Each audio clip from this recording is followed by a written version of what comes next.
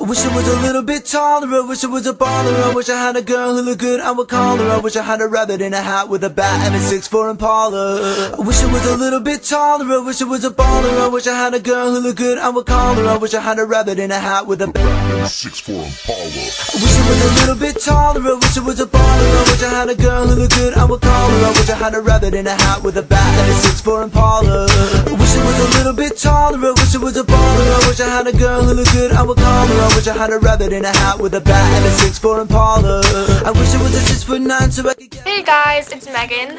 Um, this is gonna be super quick and super unbalanced because um, I didn't realize I had a lot to do today until today.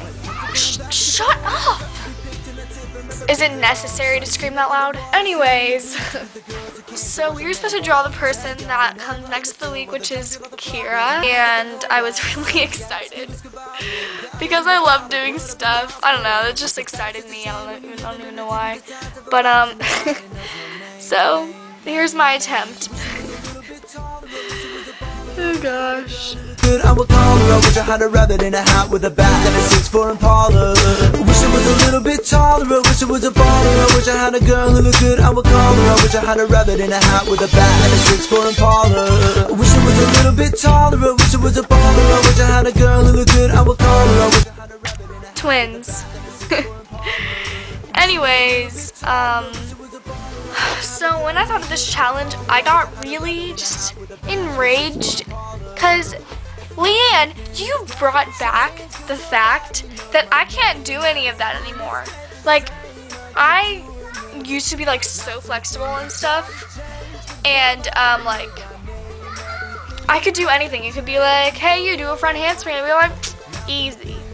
But you know, now, now I can't. Like, the only thing I can do is a freaking somersault. So, thanks a lot. Love you too. no, but I'm kidding. Okay, guys, we can do this. You're jealous. I know. Yeah, that was interesting. Um, anyways, I hope you guys have a super great week, and we will see Kira drawing Lee Leanne tomorrow, and I'm really excited to see how that turns out, because we just know how artistic Kira is. I really actually have no idea how artistic she is.